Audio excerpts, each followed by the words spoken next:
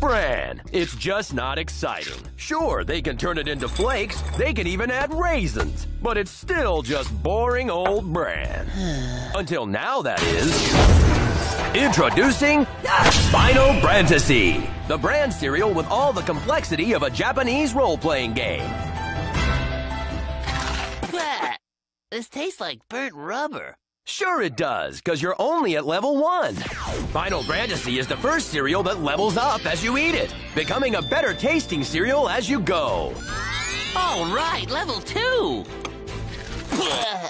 Now it tastes like unburnt rubber. And just like the game, you'll have to make it through about 80 levels before it even starts to get good. So get ready for countless hours of awesome chewing.